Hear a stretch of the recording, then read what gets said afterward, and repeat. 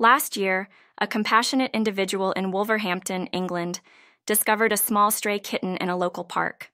Concerned for the little feline's well being, they took him to a nearby veterinary office for assistance. Emily Tomlinson, an employee at the vet, couldn't resist the charm of the tiny ginger cat.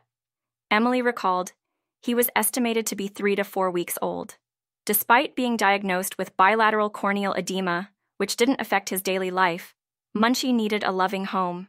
Without hesitation, Emily decided to adopt him. In the ensuing weeks, Emily observed that Munchie wasn't growing as expected. The day after Christmas, Munchie's health took a sudden downturn, leading to a four night hospitalization.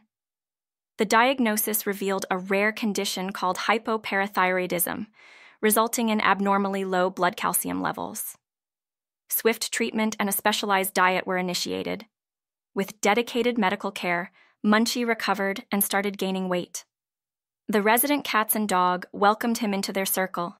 Bella, the canine, embraced the newcomer immediately, while Aslan, the ginger cat, developed a close bond shortly after.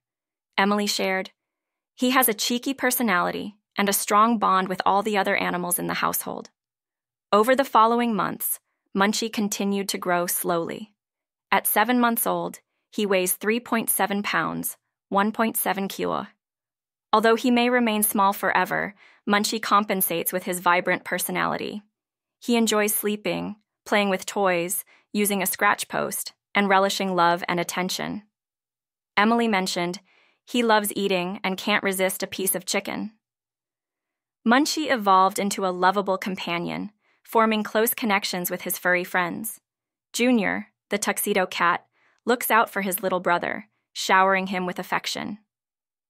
Aslan, significantly larger than Munchie, acts as a guiding presence, providing comfort and cuddles.